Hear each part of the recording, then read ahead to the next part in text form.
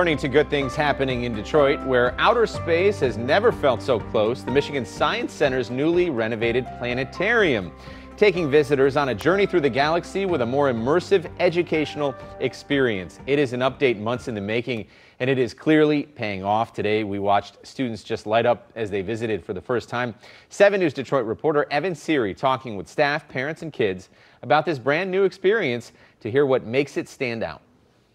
The show was amazing. It was a lot of very pretty colors. It was so cool. Um, I know the kids really enjoyed it. The Robinsons, mom Tori and her daughter Mahala, give hyperspace a stellar odyssey two thumbs up. As we travel throughout the galaxy. The immersive show can only be seen inside the Michigan Science Center's newly renovated planetarium. Not many planetariums have 8K. There's only a handful of them in the United States. How's everybody doing today? Paulette Epstein is the Science Center's um, Director of Science and Theater. She says besides the 8K digital projection, that's like putting six 4K televisions right next to you. The upgraded planetarium includes a new dome called NanoSeam, which means visitors won't see any more seams on these screens, a new audio system, and inclined seating. So we are definitely one of the most advanced planetariums in the U.S. The multi-million dollar four-month project was recently completed. This place truly is stunning. The planetarium's new features make it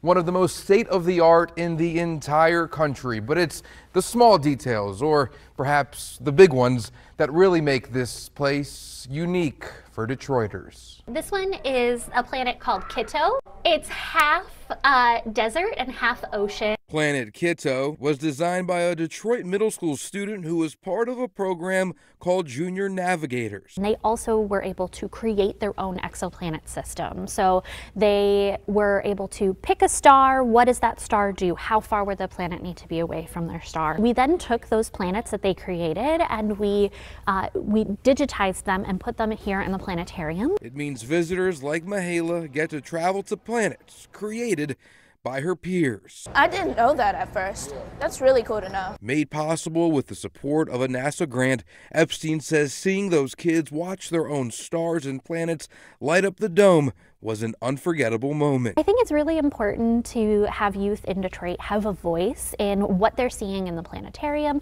what they're doing, what they're learning. Reporting from the Michigan Science Center's renovated planetarium. It was very immersive. I couldn't see the floor. Evan Seary, 7 News, Detroit. How much fun to just get lost in space like Listen, that. science rules. I mean, that is so fun. And, and now we got to start talking about what the weather's going to be like on the planets that they're sure. making, right? Meanwhile, back here on Earth. Meanwhile, back here.